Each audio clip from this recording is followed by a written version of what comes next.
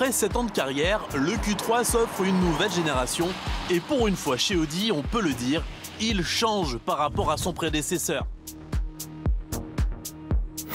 Mais depuis 2011, la concurrence s'est musclée jusque dans sa propre famille.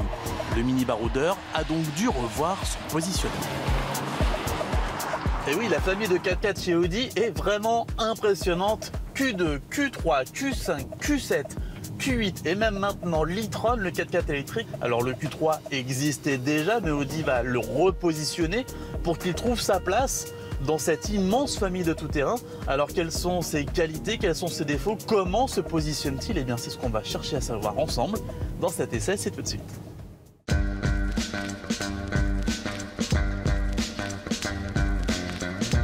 Pour se différencier de ses rivaux et des autres SUV de la gamme Audi, le Q3 mise sur trois gros atouts.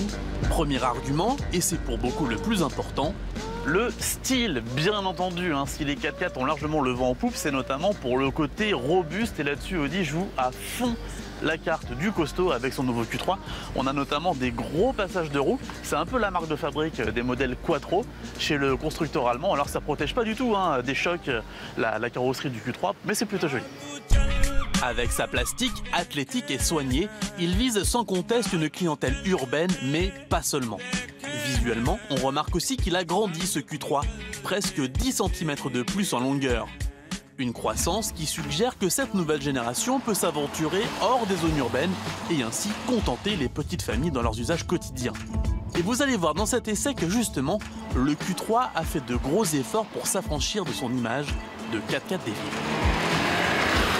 Deuxième grosse qualité de ce Q3, c'est la polyvalence derrière le volant. Comme d'habitude chez Audi, ce nouveau modèle, eh bien, il sait tout faire. hein. En plus, si on va taper dans les options, on peut prendre l'amortissement piloté qui peut même rendre ce Q3 carrément sportif.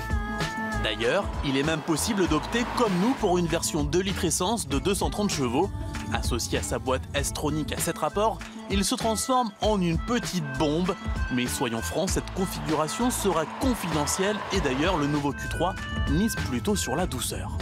Alors l'avantage par rapport au précédent, c'est qu'on gagne en confort. Malgré les grandes jantes, je peux vous dire qu'il est plutôt facile de faire des kilomètres. Là, les routes sont assez dégradées, mais il suffit de passer sur le mode confort pour être euh, vraiment euh, dans un cocon. Et oui, comme nous vous le disions, le Q3 veut sortir des villes et c'est une réussite. Il évolue sur route comme une berline polyvalente et fera donc parfaitement le boulot pour les escapades du week-end.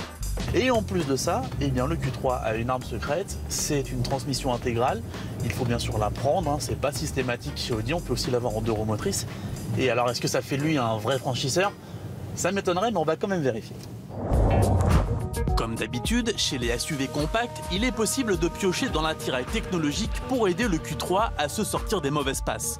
Audi espère que la moitié des clients optera pour une transmission intégrale, mais on peut imaginer qu'en réalité, ils seront un peu moins que cela.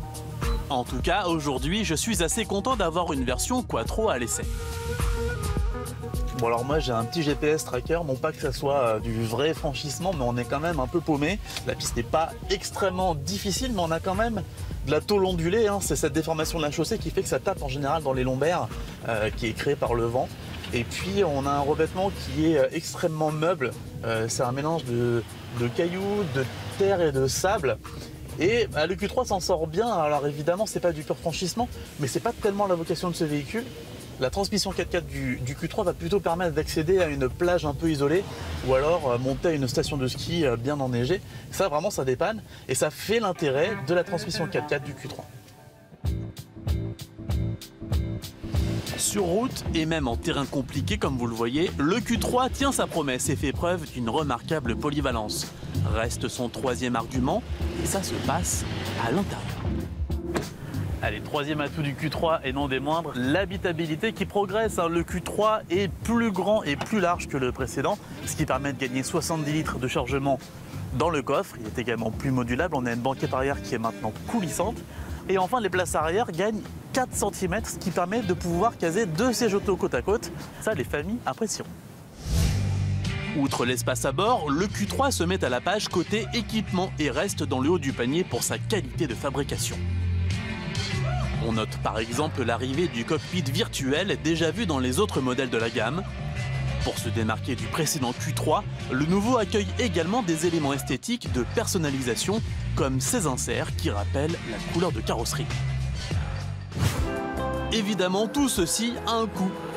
Les prix du nouveau Q3 débutent à 33 000 euros environ, mais comme toujours, la note s'envole si l'on pioche dans les options. Notre version d'essai, par exemple, dépasse les 60 000 euros, c'est 10 000 euros de plus qu'un Q5 d'entrée de gamme, ça fait réfléchir.